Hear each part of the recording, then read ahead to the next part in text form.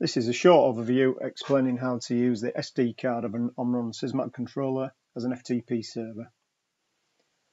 All the controllers in the Sysmac range are equipped with SD card slots, the positions of which are highlighted in the slide. The controller supports SD card capacity up to 16 gigabytes. For best performance and service life, it is recommended to use Omron's own SD cards However, third-party cards can be used, but performance cannot be guaranteed. Some of the functions that the SD card can be used for are reading and writing files to the card with program instructions. This can be used for data collection or recipe data. Reading and writing of files from a remote FTP client. This is useful re for retrieving log data previously stored. Backup and restoring of controller programs and also transferring programs to the controller when power is applied. Some things to remember when using SD cards in any application. Never remove the SD card from the controller when either the SD busy or SD power LEDs are lit. Always press the SD power supply button before removing the card. This will re reduce the risk of any lost or corrupt data. The service life of any SD card is limited so they shouldn't be relied on as a long-term data store. Any data should be backed up regularly. When using Omron SD cards, the deterioration of the memory and end of life can be monitored in the user program so replacement can be made before any loss of data occurs. So now we're going to make the settings on the controller to allow us to connect to it with an FTP client. So first of all, we're going to start Sysmac Studio software.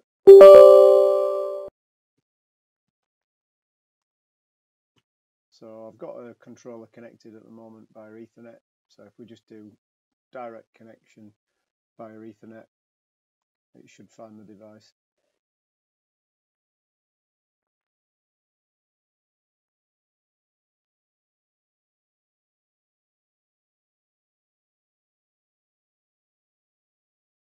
Okay, so it's found the controller. Now it's asking us, do we want to update the name in our project to match the name that's stored within the controller?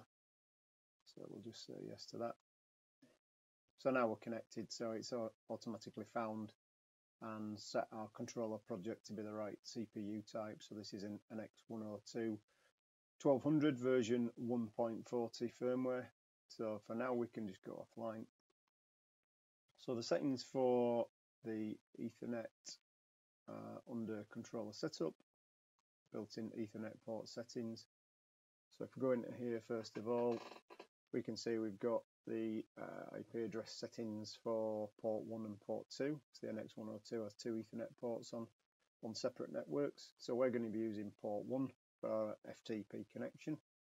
So we should be able to then um, go to our Ethernet FTP tab and at the moment by default FTP is disabled so if we select use and then just enter a name for our FTP connection. So this is a login login name or username as it might appear in the client.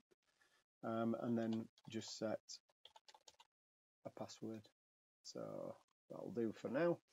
One thing to remember when using FTP is that the um, time on the device that you're connecting to and the FTP client time must be within a certain limit. So it's quite often useful to set up on the controller to use the network time protocol connection so that the controller is always in sync with the network that it's connected to. This saves a lot of problems um, if you've got issues with things like daylight saving, time changes, etc. If all of a sudden you find your FTP connection stops working, it could well be the, the problem with the time settings. So it's useful using the network time protocol setup to make sure everything's synchronized.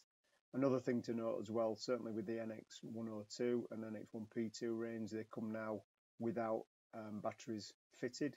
So if you need to use the real-time clock, which requires a battery, then you need to buy that as an optional extra and um, just install that in the in the controller.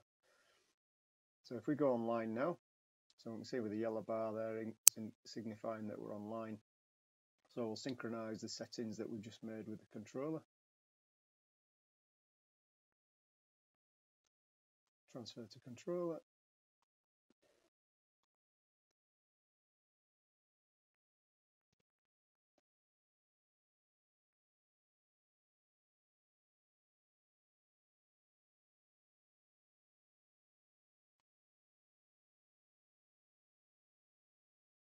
Okay, so synchronization successful. So close the synchronization window.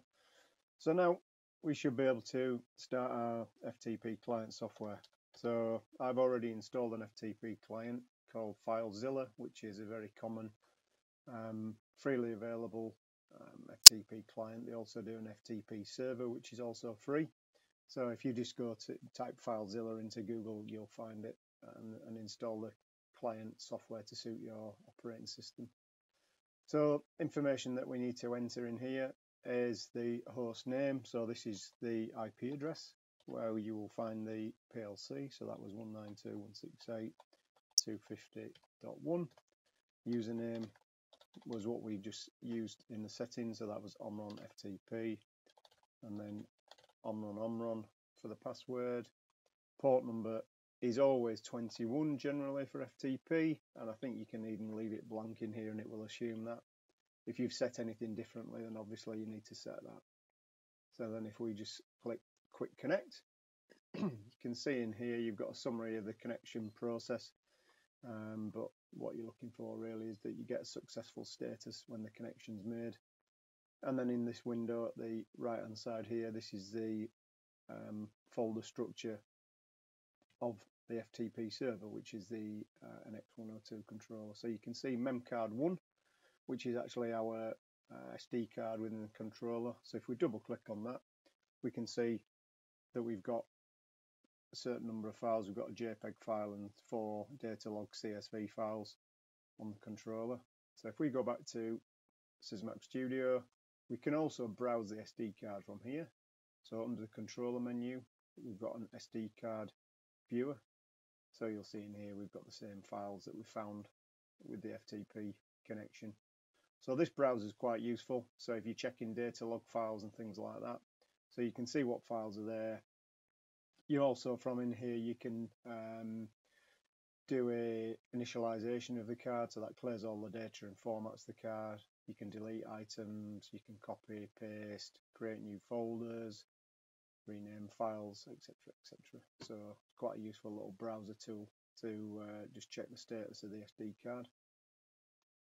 So if we close that down again, go back to our FTP folder. So from within the FTP client, um, we can just select a, a folder on our desktop or let's say our documents folder and we could say we want to select all these files and drag them to our documents folder anything that exists just overwrite we can in this instance so then if we go to our file explorer and then go to documents we can see we've got the four files that we've copied um, across. Similarly you can go in the opposite direction. So we've copied log data files off from the controller. We can also send recipe data files for instance from a remote network to the controller. So it can use that recipe data for production information for a, a day's production, for instance. So we've got recipe.txt on my PC. So this is my computer D drive. So we can just drag that across, drop that onto the SD card. then again, we can just go back to the controller menu, SD memory card, and we'll see the recipe data file is here. So that's just a very simple overview of how to use an FTP client to connect to the SD card in the controller. And like we said, there's quite a lot of other options that you can um, you can do with the FTP uh, functions of the uh, Sysmac controller. So sending files from the controller to a remote network location. So this data log files could actually be sent from within your PLC program. Um, so it can all be automated to save you having to do this manual connection and copying files. Hope you found that useful.